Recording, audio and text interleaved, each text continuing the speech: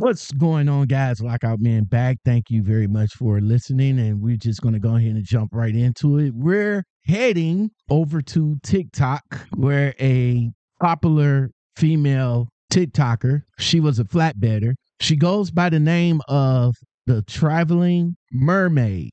Unfortunately, God has called her home some time ago and a few people that was in her circle around TikTok knew of her passing. It really wasn't made public until her sister or her family members uh, just made it public. I just saw a news uh, article featuring this young lady, a very popular uh, TikToker. She had some struggles and she talks about them. She talks about her her struggles and she talks about how people in trucking that has these type of struggles don't have an outlet and she's here to talk about it. No more wasting time. Let's get it. Hold on.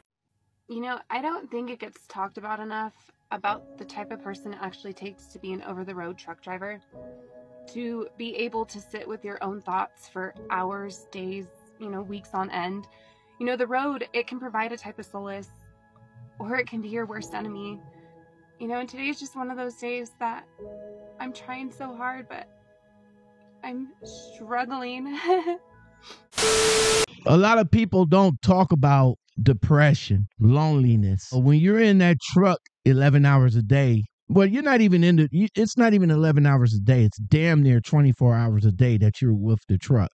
You get up, you drive, you stop, you get out for a few minutes, you get right back in the truck, you go to sleep, and then you get up and do it all over again. And that is life for some people out here. That is that is life. People that have been driving for 20, 30, 40 years and I'm not talking about the millennial years. I'm talking about I'm talking about the our era years. We talking about from from the 60s to the 70s to the 80s to the 90s. Back then where trucking was more of a brotherhood where people could get on the CB and and just chop it up just to get down the way we're not talking about the millennial drivers that we're talking about drivers from back in the day where they didn't even have access to the internet, the cell phone, live feeds. They ain't have none of that. None. They had CB radios and and luckily if they can find